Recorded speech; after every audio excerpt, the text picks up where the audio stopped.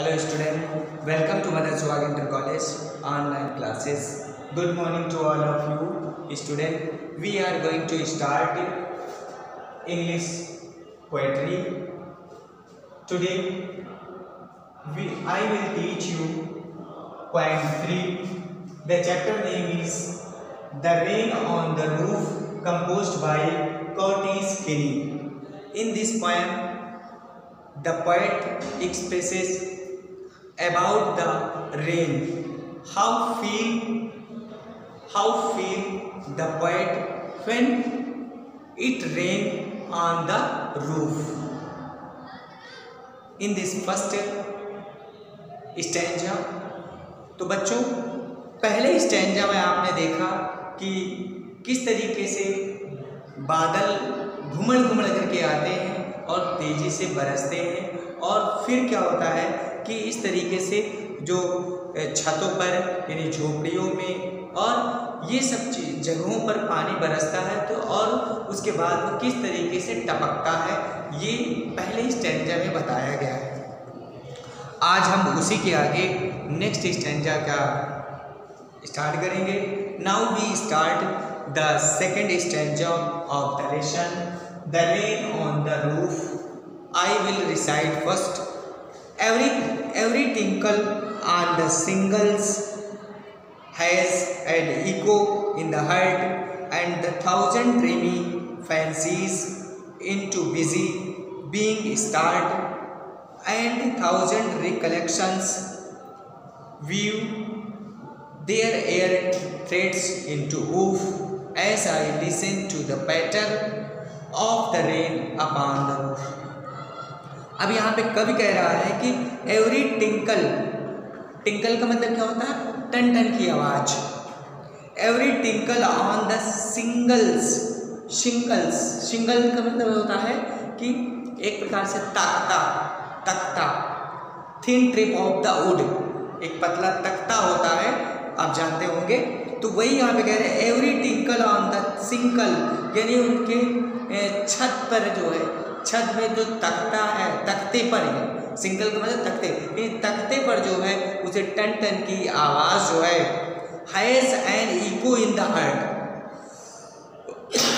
कह रहे every tinkle on the single यानी सिंगल्स यानी तख्तों पर जो है प्रत्येक टन टन की आवाज़ जो है, आवाज़ पड़ती है। Has an echo in the heart ये टप टप की जो आवाज़ है, वो दिल में गूंजती है। हर्ट मने हृदय में। इको मने गूंजना।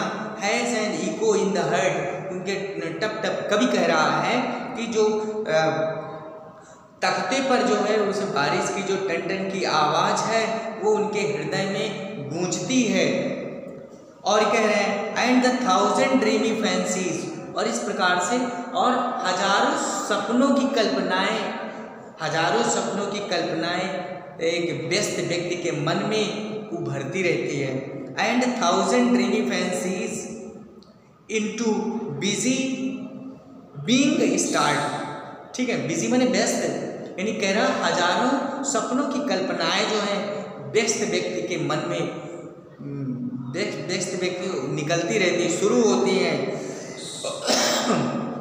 एंड ए थाउज़ेंड रिकलेक्शन लेखक कह रहा कभी कह रहा कि a thousand recollections weave their air threads into woof लेखक कह रहा कभी कह रहा फैंसीज का मतलब होता है तरंग, लहर जिसे कहते हैं। और बिज़ी बीइंग माने व्यस्त व्यक्ति। और रिकलेक्शन का मतलब होता है स्मृतियाँ, याददाश्त, फिर से उनको कलेक्ट करना। और ऊफ का मतलब होता है तो ताना बाना बिनना।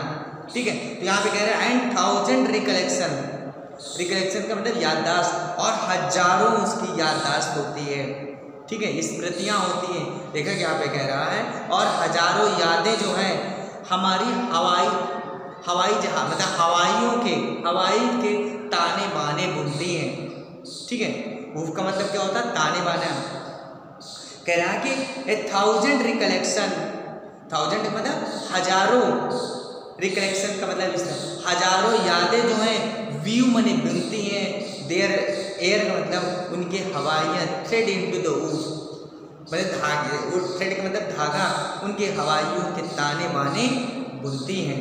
और फिर कभी कहता है as I listen to the pattern और कभी कहता है कि as I listen to the pattern of the rain upon the roof और जब मैं छत पर वर्षा के टप टप की आवाज़ को सुनता हूँ, कह रहा कि as I listen to the pattern और मैं टपकने की आवाज़ को कभी कह रहा है कि जब मैं टपने, टपकने की आवाज़ को सुनता हूँ ऑफ़ द रेन, मने वर्षा की अपान द रूफ मने छत पर।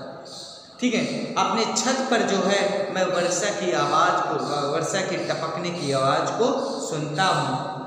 ठीक है? तो कवि के मन में जो है, ये हज़ारों यादें उनके हवाई के ताने बाने बनते हैं।